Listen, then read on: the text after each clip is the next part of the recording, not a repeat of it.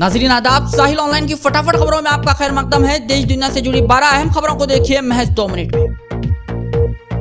CBSE के बारहवीं class का अकाउंट पेपर व्हाट्सएप पर हुआ लीक बोर्ड के टॉप पैनल की मीटिंग में मामले पर किया जा रहा है गौर। जराये के हवाले से खबर। यूपी के कानपुर में चोरों ने तीन एटीएम को बनाया निशाना। तीन मुख्तलिफ़ बैंकों के एटीएम लूट कर फरार हुए चोर। पुलिस ने मुलजिमीन को जल्द गिरफ़्तार करने की कराई यकीन दहानी।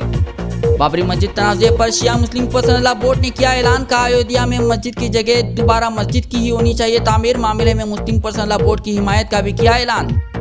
पार्लियामान में नहीं थम रहा हंगामे का सिलसिला। आज भी राज्यसभा और लोकसभा की कार्रवाई हंगामे के बाद की गई मुलतवी। पार्लियामान की कार्रवाई न चलने पर वज़ीर खजाना अरुण जेटली ने दुख का किया इजहार। कहा, हुकूमत अपोजिशन के तमाम मुद्दों पर बातचीत करने हैं तैयार।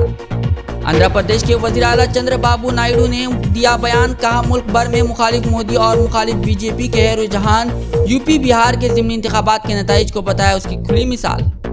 गुजरात के सूरत में 15 से 20 करोड़ के हीरे की लूट का सामने आया मामला। तीन से चार लुटेरों ने ब्लू स्टार मुलाजिम से लूटे हीरे। सीसीटीवी में कैद हुई तस्वीर।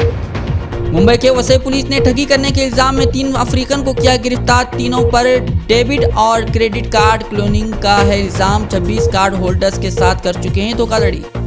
कर्नाटक के बेंगलुरु समेत भटकल और साहिल इलाकों में हुई बेमौसम बारिश। गर्मी से परेशान आवाम ने बदलते मौसम से ली राहत की सांस। आवाम ने बेमौसम बारिश का उठाया लुत्फ। तमिलनाडु की सियासत में हलचल। देनाकरण ने किया नई पार्टी का ऐलान। झंडे में नज़र आई जयललिता की तस्वीर।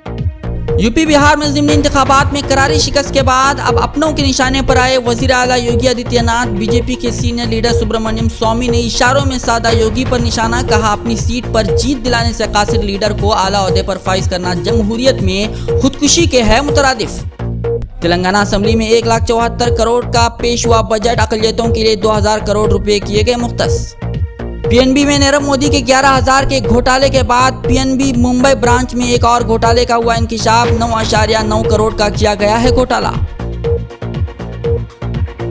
नाजरीन देश दुनिया से जुड़ी मजीद खबरों को तफसील से जानने के लिए विज़िट करें www.sahilonline.net Sahil online YouTube channel करें सब्सक्राइब। फिर होगी मुलाकात, अहम खबरों के साथ। तब तक हमें दीजिए इजाज़त। आदाब।